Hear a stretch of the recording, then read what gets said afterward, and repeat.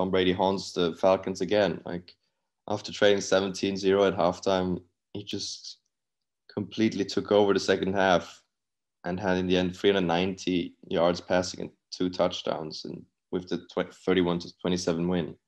Like it's it's crazy how he could just turn it on in the second half. Yeah, the the Falcons are, are really making um, a, a, habit of doing this, and it's it's really not um, a, a, nice habit to, to get into. But this was the the uh, Falcons' fourth loss this season, where they've had a 95% uh, plus win probability to to win this game.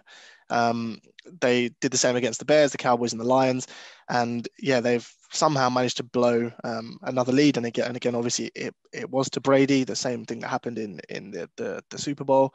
Um, but yeah, I think some credit does have to go to the, the Buccaneers. They completely just flipped the script in in the second half. The first half, there was nothing at all that was working. Um, you know, could, couldn't get anything going. Defense couldn't really put couldn't couldn't get any stops.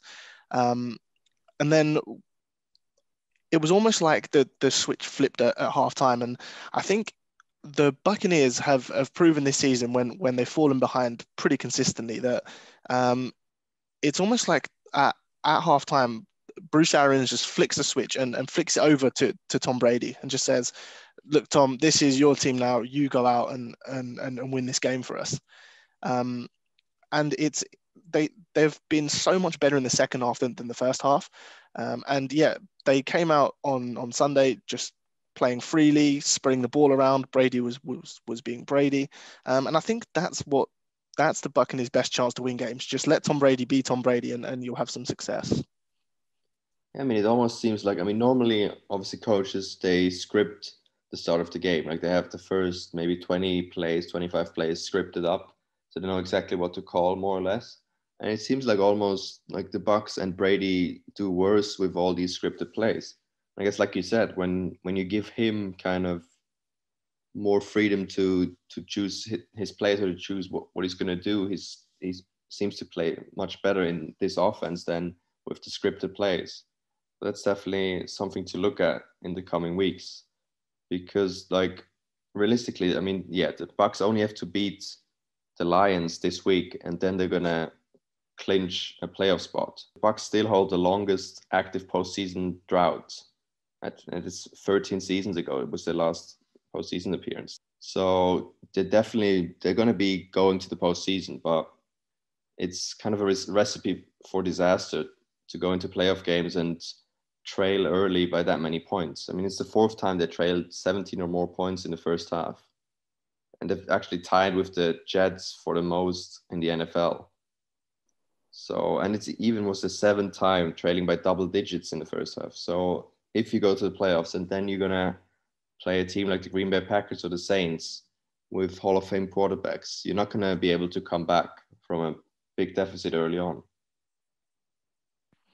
Yeah, I would I would t- totally agree with you about the uh, game plans aren't aren't working, and the the I, I can kind of get it from um, Leftwich and, and Bruce Arians. They they want to put this um, game plan together that uh, you know almost shows they're they're worthy of coaching all of this this talent that, that, that the Buccaneers have. Um, you know, everyone knows they have three uh, number one receivers. Um, they've got Gronkowski. They've got uh, you know some some fantastic running backs, um, and I think what they're what's kind of happening is that they're, they're almost overthinking it.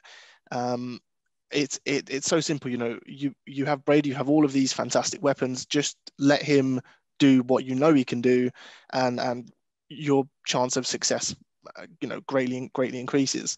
Um, but yeah, I, I this is um, not a team that you want to fall behind. Um, I know obviously they do have all of these great, uh, great, great weapons, and they're capable of, of um, erasing these deficits. But like you said, in in in the playoffs, um, it's you know games are tighter. There's normally fewer points, um, and they are likely going to have to go to uh, New Orleans and uh, Green Bay, perhaps, if if if they want to make you know a, a deep playoff run. Um, and yeah, those are not teams that you want to just give points to and and, and fall behind um, fall, fall behind big two. Um, but yeah, I think it's something that, that the Buccaneers do do need to address because we've we've had you know was it 15 weeks now of of Arians putting in these game plans and, and seeing how they work, and, and they're they're not quite working.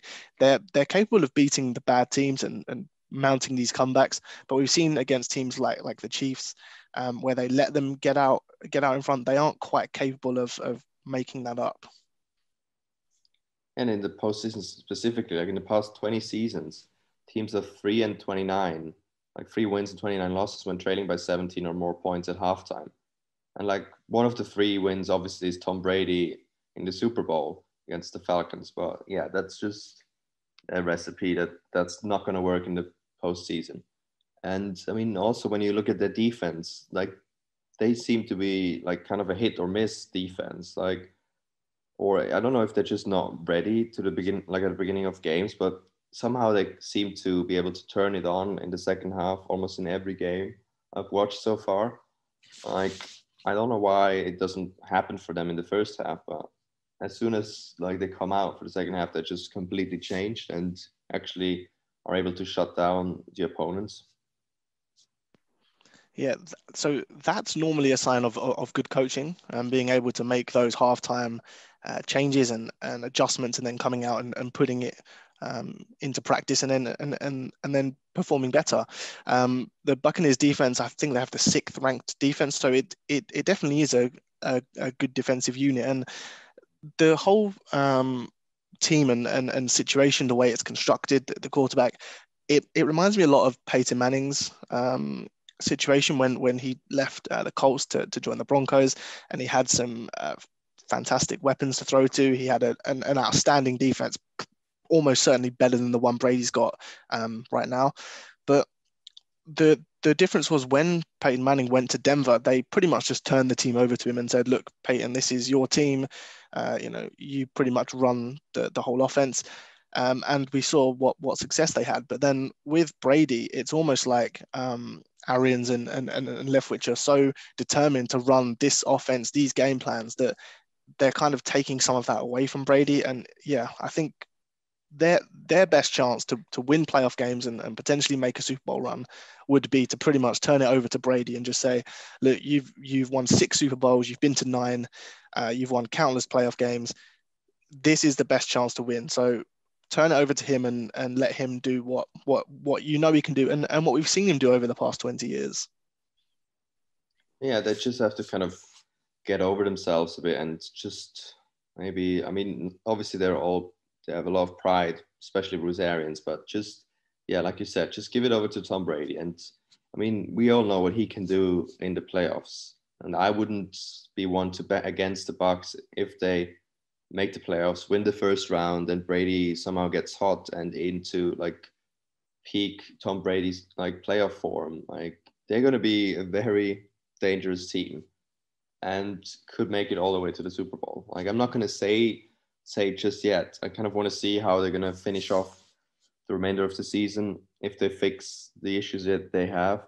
But yeah, that's gonna be I guess a sleeper team definitely.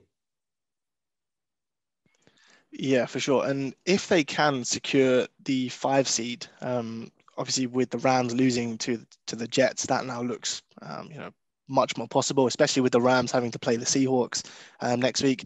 If the Buccaneers can secure that that fifth seed, um, their first round match is going to be against the winner of of the NFC East. Um, I know obviously we've seen some big uh, changes and, and, and, improvements across that division over the past month, but that's pretty much a dream first round playoff game, playing whoever wins that that division and then you know secure a, a playoff win, get that one done, um, and then move forward with with some confidence. Um, yeah, it's it's definitely a, a, pretty nice position for for the Buccaneers to be in if if that is the case, and and that's how it plays out for them.